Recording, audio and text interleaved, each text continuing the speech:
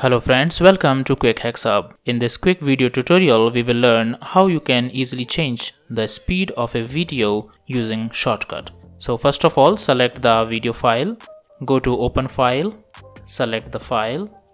Let's select this one.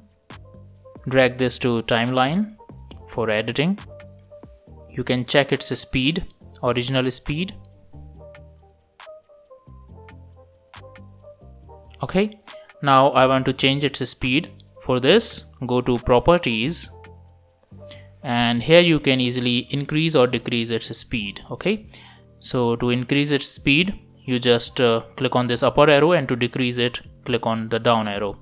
So I want to increase its speed. You can use these arrows or you can directly type uh, how many times you want to increase it or decrease its speed. I'm using these arrows okay? So I have uh, increased the speed three times okay? And just click on this apply.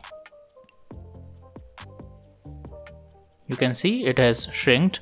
Now see the speed changed speed. You can see the change. In the same way you can uh, decrease the speed okay? And apply it. Now see the change it has reduced. Okay.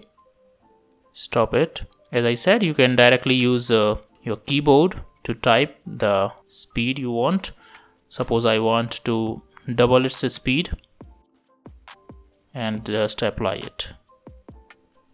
Okay? It has changed. Speed has been doubled and just save it okay? So in this way you can easily change the speed of a video. Thank you for watching